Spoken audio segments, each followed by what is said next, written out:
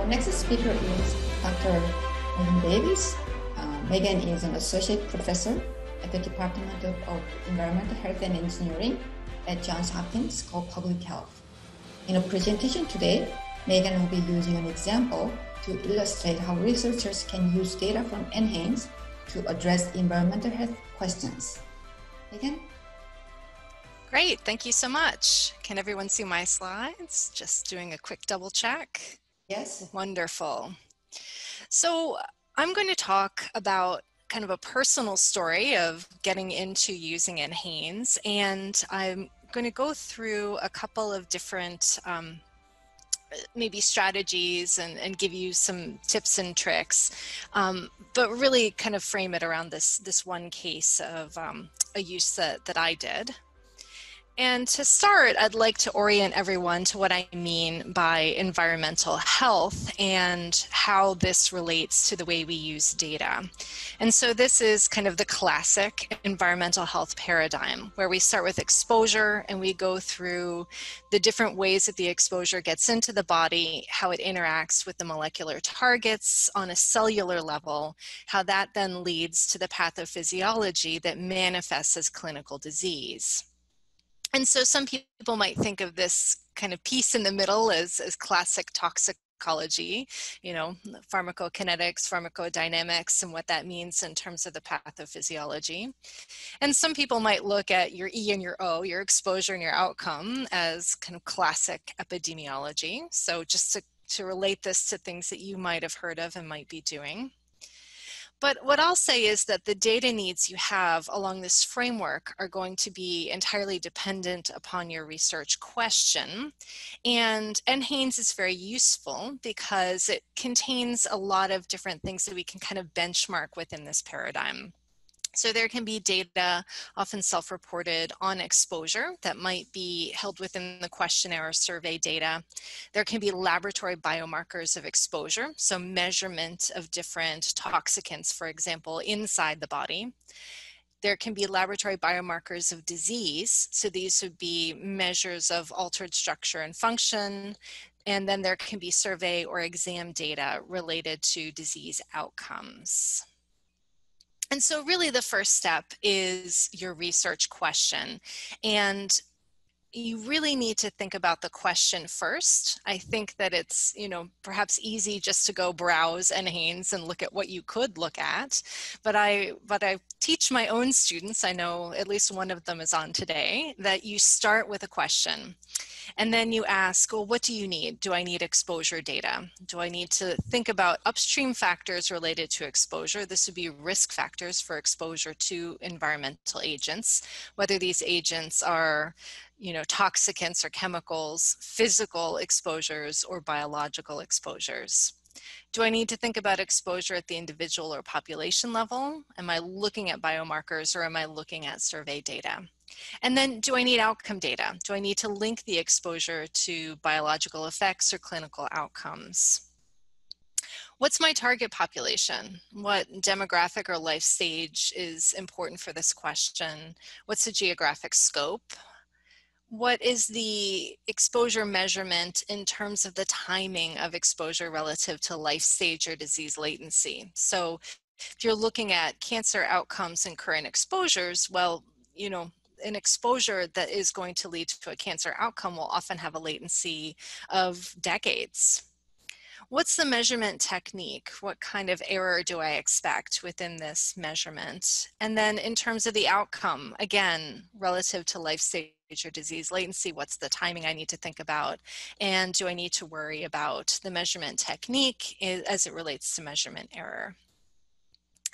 And so I'd really like to give a shout out to Drs. Roger Peng and Elizabeth Matsui, some of my own mentors who have written this um, really lovely book. You can get it for free, and the link is here on LeanPub. It's called The Art of Data Science. And this is really about connecting that question to the aspects of data analysis that are important. And so really it's about the fact that this is what they call an epicycle. It's iterative. You start with your question, you take a peek at the data, you identify that maybe there's a mismatch between the data you have available and the question you have. So you circle back, you refine that question. Again, you go back to the data, you start building your models, etc. But throughout these, you also are developing a priori your expectations for what you expect to see. And so it's easy to identify when the data don't match your expectations and you need to revise your expectations. And then also in terms of publishability, you want to start with a literature search as you are, you know, coming up with this question, looking at whether NHANES can answer that question, well, you might want to first check and see if this question has been answered in N. NHANES. And so I'm not going to go into great detail because Yutaka has done a lovely job of setting this up, but N. NHANES is, you know, a one-stop shop for answering a lot of different questions that you might have within the realm of public health. And because most data are publicly available, and because there is excellent documentation and analytic guidelines available, I think it's pretty, um, pretty easy for people to begin to answer a question with this data set. And so most people are going to work within the continuous NHANES. These are those two-year cycles. And what you'll find is that you have data that become available over time as the laboratory assessments are being conducted.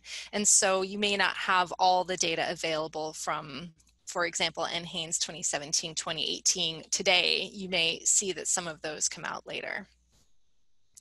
And this is just a, a, screenshot of what it might look like when you go into one of these two-year cycles. So this is from NHANES 2015-16, and you see that there are demographic data, dietary data, examination data, laboratory data, questionnaire data, and then the data that are limited access.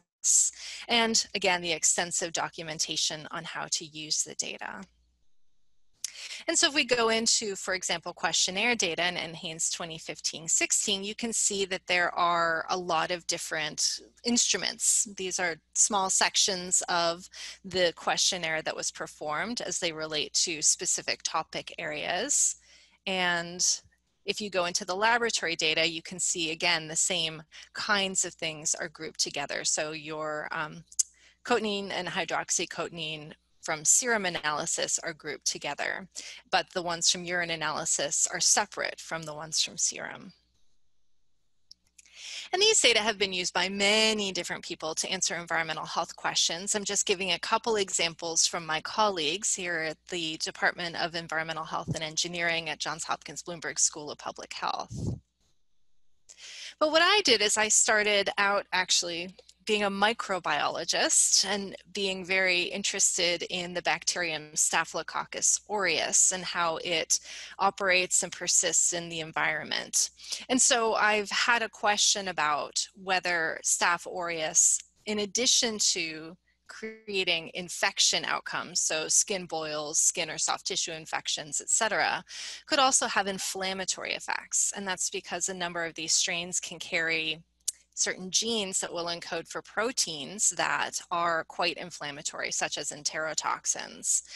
And I was interested to see if they could play a role in non-infection outcomes. And so I've, I've had a question around Staph aureus environmental exposure associated with respiratory outcomes in children.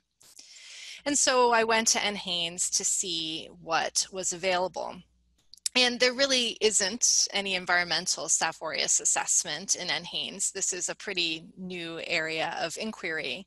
But Staph aureus nasal colonization, that is in the nose, and this is one of the niches where Staph aureus can hang out for a period of time. And in about 20% of people, it can be persistently there all the time. And it was measured in two cohorts. So this was NHANES uh, 2001-2 and 2003-4. And then I looked at outcome measurements in NHANES, um, and there are both children and adults, and there are people with and without asthma. And so if I then alter my question, I I went back to that epicycle. I iterated. I said, okay, I can't ask about environmental exposure, but I can ask about exposure because I might look at Staph aureus nasal colonization as a marker of internal dose of Staph aureus. And I can look at this in the US population. So when I look at the outcome measurements, um, respiratory symptoms are queried and lung function is tested in most years. But I only have Staph aureus data from 2001, 2, and 3, 4. And so here's the laboratory data from 1, 2. So this is the um, methicillin-resistant Staphylococcus aureus or MRSA data set, but it also includes um, methicillin-susceptible Staph aureus. And I did a lit search to see what had already been done in NHANES, and there was data on lead and Staph aureus colonization showing a very interesting relationship where at the highest quartile of lead exposure, there was actually reduced odds of Staph aureus colonization at least for MSSA. And then it was a little bit different for MRSA, where actually the drug resistant forms of Staph aureus were enhanced by this uh, measure of lead exposure. And the scenario here, as postulated by the authors, was that lead could exert selective pressure, and it was not clear. They did not have the data in NHANES to differentiate between their different scenarios of how this might occur. So if I go back to the target questionnaire data in NHANES, and this is just from 012, you can see that there are respiratory health questions asked. And, um, you know, there are a lot of different kinds of questions within this instrument. So you can see that there are questions about coughing, phlegm, wheezing, etc. And so if I put all this together, I have the same demographic questionnaire in 012 and 034, the same Staph aureus lab data in 012 and 034, and the respiratory questionnaire again in both of these. And so I want to merge within cohort on the SEQN, which is the identifier of variable. That means that I need to take that demographic data set, the Staph data set, the respiratory data set, I need to bring them all together and make sure that I have everything lined up by participant. And I did this separately for 012 and 034. And then I appended these data sets to each other. They won't match an identifier variable because they are two cross-sectional studies. And then I had to set the correct survey weighting. And so this is just a shout out that there are actually really great weighting documentation and kind of tutorial guides on the NHANES website. And so within my whole population, I looked at the association between Staph aureus nasal colonization and respiratory outcomes. And these are just some of the ones that I've selected to share with you. And so you can see that there was an association in the entire population for emergency room visits for wheeze. But when I started to look a little bit more closely at the data, I realized that there was effect modification by age. And so here I have a smooth estimate of the association between Staph aureus and these various outcomes. So each outcome is a different color.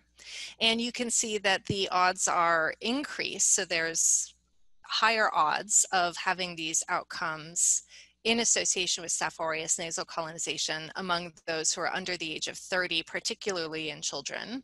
And I have it truncated at age five because it's very difficult to diagnose asthma before age five. And I have it truncated at age 85 because of the the kind of increase in comorbidities, respiratory comorbidities in particular, that occur over time. And so you see that there's a bit of an inflection point, which is why I chose 30 as my cutoff for two strata. And so now here I present the data for those who are, you know, of, of, an age to be diagnosed with asthma up to 30 and then 31 to 85. And you can see that now this relationship is much more consistent and there was significant effect modification. And so back to the original question. So I did a tiny pilot study in addition to this, and I conducted the NHANES analysis. And from these is my preliminary data. Um, in addition to the publication, I had two internal grants, a K Award and R21 Award, additional publications and a commentary, numerous presentations, including a workshop at the National Academy of Sciences, and I shout out to my student who's on here, um, who's already given a presentation on an additional analysis in NHANES, is working on this within her dissertation and has a manuscript in preparation, and there are additional grant proposals in prep. And so this is just to say that, you know, sometimes you can't fully answer your question in NHANES, but it can be an excellent starting point for the kind of data you will need to move forward. And so what about null results? Well, so you might look at an associate or you might look at an exposure and an outcome and see no association. And the important things to think about, especially when you're you're starting to ask that original question before you even get to the analysis is, is this data set designed to answer your question? And if it was sufficient to answer the question, are you in the correct target population? Was the exposure assessment conducted correctly? Was the outcome assessment appropriate for the kinds of analysis that you're trying to do? Was there potential for bias or measurement error? And was there sufficient statistical power? And, you know, if, if you're mostly checking the boxes here, then, you know, this is really useful because these existing data sets can help you triage. And triage is a medical term that we use when we're looking at patients and we're trying to decide, okay, if I've got a really critical patient that I don't expect is going to do so well, and I have a really critical patient that I do expect is going to do so well, I might need to focus my attention on the one that I think I can save. Well, some research questions are, are not going to go very far. And so this can be very helpful to lift some up to the point where you are moving forward with them and to maybe, you know, put some in, in the back burner and say, maybe I'll come back to you when there is a breakthrough in terms of the way we measure exposure, the way we measure outcomes. So some acknowledgements for the incredible work of many of my collaborators um, who have been part of this process for me. And I'm now going to stop sharing and go to the Q&A. And I think I've gotten us back on time, which was one of my goals. Great, Meghan, thank you. So before we start Q&A, I would like to remind you everyone one more time please use Q&A box to ask a question to the speakers and um, for chat box for everything else. Thank you. Rob?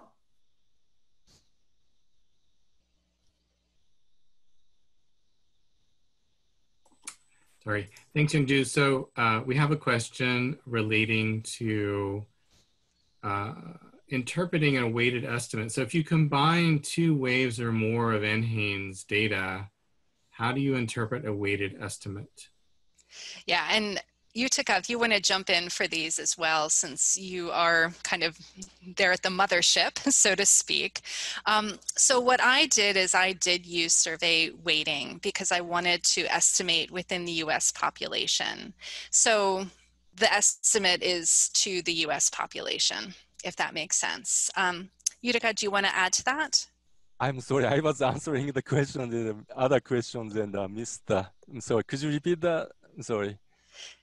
It was about the survey weighting and yeah, yeah. the interpretation of what you're looking at when you use versus do not use the survey weighting. Uh, uh, yeah, so, I mean, yeah, sorry. Uh, There's a, a link I just yeah, maybe. There's a link I just put in the the uh, the answer. Basically, there's a, a a way to combine cycles that you have to actually recalculate a new weight. And the link actually explains not only how to calculate these uh, these weights, but it gives a work example, and it also talks about the interpretation of those of uh, when you do an analysis combined across cycles. Thank you. Great, and I'm seeing that most of the Q&A are actually, I think, residual from our very first presentation. Um, so maybe we can go ahead and, and catch up. Sure. Um, so uh, I think you you definitely talked about this. You talk uh, regarding response rates and concerns about that in NHANES and uh, what. So, so there's a question about what changes is NHANES considering to increase response rate in participants. Oh, and, and you're you're muted, by the way. uh, that was the question I was trying to answer. So there are have been ongoing efforts we are trying making some changes, but I I am sort of hesitant to go into the detail in part uh, because I don't remember exactly maybe, and some of them we, I think we sort of. Uh, uh, but I, I, just try enough to say that some some uh, innovative techniques that have been proposed and in other surveys, we have been uh, trying to introduce those. That's probably I can say as much. I'm sorry. Uh, if you search the uh, you know NHANES site or some other site, uh, sources, you may find more information. Sorry. Okay, great. And Yutaka, just uh, a couple more questions related to mortality data in NHANES. Um, sure. So are, are the NHANES mortality data only available at the RDC is one? Yeah, uh, uh, no, there is a public mortality data, but those are not full data. There are some, uh, it's, it, it, doesn't include all the cause of death. And also it's sort of correlated, you know, uh, into groups. And also some of the data are synthetic, meaning to prevent the disclosure. So if you really would like to uh, analyze uh, mortality data uh, enough uh, to the full, full to ex uh, extent, uh, it's recommended to use uh, the restriction data at the RDC. I think the the public data are, are, are made available as sort of feasibility uh, data, not for the real study, just to see how many pe people have died or just get an idea for the feasibility. Okay, Okay, and then the, the final question I have relates to, actually references your longitudinal paper that you mentioned in your talk uh, regarding uh, National Death Index mortality data.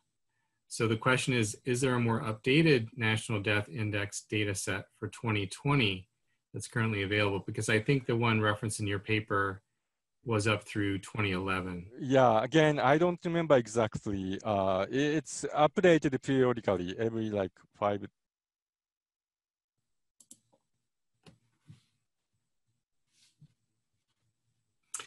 Um, and then this just came in. Uh, so, oh, sorry.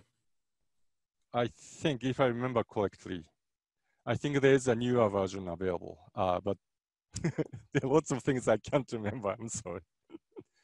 But if you go to the, uh, again, go, going to the website would clarify. It, it, it says when data, new data, it, it lists the most recent uh, mortality data available. Okay, great. And then uh, this just came in regarding, uh, I think this this might go uh, to, to you, Meghan. Uh, could you explain how you combine two sets of data collected in two rounds in your asthma research? Yeah, that's a great question. And I think a lot of people have this because they may want to combine even more than two. But since I had Staph aureus and just two, what I did is I downloaded all of the instruments. So these would be the the files that are in a SAS format for all of the different pieces I needed from first 2001-2 and then from 2003-4. I put them in different folders. I then combined merging data sets on the SEQN identifier within 2001-2, and then I did that separately for 034. And then I appended the two data sets, meaning I did not merge on SEQN, but I stuck them together. And the reason is that SEQN are all independent, meaning that you're not going to be able to match on SEQN, SEQN variable, which is the identifier variable, from one cycle to the other, because the, this is not a classic longitudinal study, even though there is there are ways that Yutaka has, has said that you can do some longitudinal analyses, but for the most part, you have to treat these as separate cross-sectional studies. And then I went into the survey weighting documentation in order to create the correct weighting variable. And that may depend on not just what questionnaire data you have, but kind of what laboratory data you have, what examination data you have, and if it was performed on a subset or not, it may adjust the weighting. So you have to read very carefully within the documentation, not just for the, the survey weighting, but also within the documentation for each instrument and each section. So it, it takes a little bit of setup, but once you have the data set set up correctly, the next thing I did is I made sure that I could replicate the analyses that had been performed in Prior NHANES. And then I moved forward with the exploratory data analysis, the model building, and then obviously kind of the finalization of the model prior to publication. So if that kind of steps it through, that might be a, helpful way to think about it.